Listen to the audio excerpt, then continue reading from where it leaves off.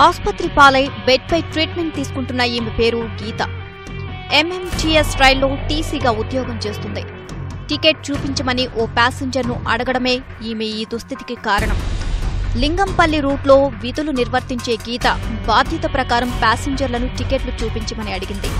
Hafeezpet station సమీపిస్తుండగా ద్వారం వద్ద ఉన్న ఓ యువకుణ్ణి టికెట్ చూపించమని అడిగింది.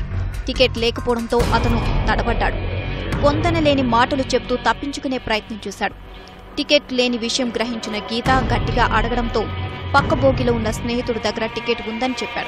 ఫోన్ చేయడంతో అతని స్నేహితుడు కూడా వచ్చాడు. ఇద్దరి దగ్గర టికెట్ లేకపోవడంతో టీసీ ఫైన్ రాసేందుకు ప్రయత్నించింది. ఆమె ఫైన్ రాస్తుండగానే గీతను పక్కకు తోసి పరుగులు తీశారు. అంతలోనే ట్రైన్ కదలటంతో గీత ప్లాట్ఫామ్పై పడిపోయింది.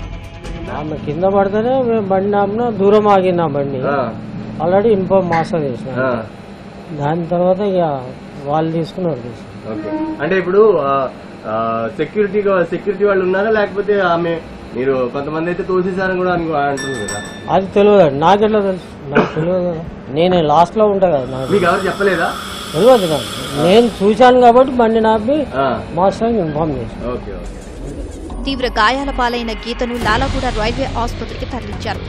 ఒకవేళ ట్రైన్ మరింత వేగంగా ఉన్నట్టయితే గీత ప్రాణానికి ముప్పు వాటిల్లే అవకాశం ఉందని తోటి ప్రయాణికులు చెబుతున్నారు పోలీసులకు ఫిర్యాదు చేయడంతో వారు దర్యాప్తు మొదలుపెట్టారు. సీసీ కెమెరా ఫుటేజ్ పరిశీలించి నిందితులను గుర్తించే ప్రయత్నం చేస్తున్నారు.